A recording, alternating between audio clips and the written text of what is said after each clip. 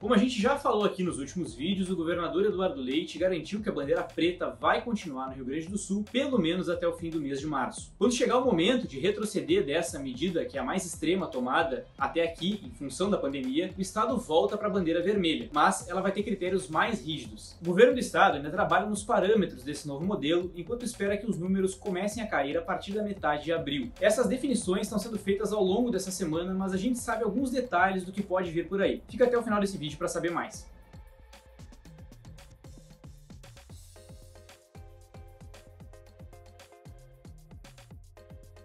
Por enquanto, os protocolos da bandeira vermelha não devem mudar para três atividades: indústria, construção civil e serviços domésticos. Na indústria e na construção civil já não tem praticamente nenhuma diferença entre as regras de bandeira preta e bandeira vermelha. Os serviços, de maneira geral, vêm sendo analisados nesse momento e a expectativa é de que uma parte deles passe a ter restrições maiores. Como a gente disse, esse modelo ainda está sendo desenhado, mas algumas atividades que estão exigindo uma atenção especial são bares e restaurantes, salões de beleza, consultorias, academias, clubes recreativos e casas de espetáculos e similares em ambientes abertos.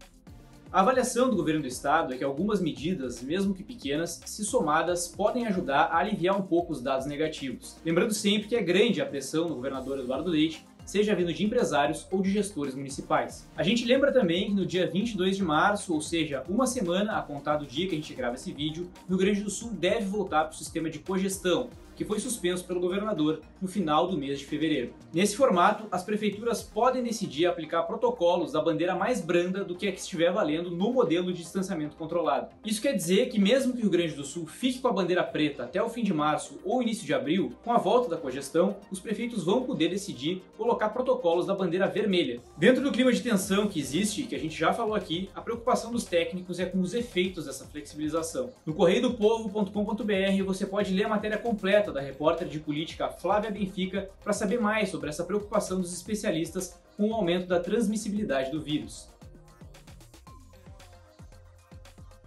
E a gente lembra sempre que o Rio Grande do Sul e o Brasil inteiro vivem o pior momento desde o início da pandemia do coronavírus. Em Porto Alegre, por exemplo, a ocupação dos leitos já passa de 110,9%. Em um mês, o número de pessoas internadas na cidade mais do que triplicou,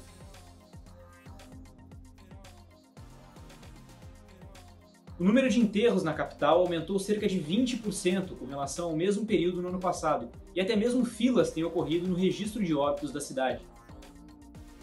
Por outro lado, ainda que de forma mais lenta do que todo mundo gostaria, a vacinação tem avançado. Essa semana, idosos de 76 anos ou mais começaram a ser imunizados aqui na capital. A vacinação dessa faixa etária vai até a próxima quinta-feira, dia 18 de março, em unidades básicas de saúde e em drive-thrus. Eu vou ficando por aqui. Acesse sempre o nosso site para mais informações sobre o enfrentamento da pandemia na capital, no estado e no país. Tchau!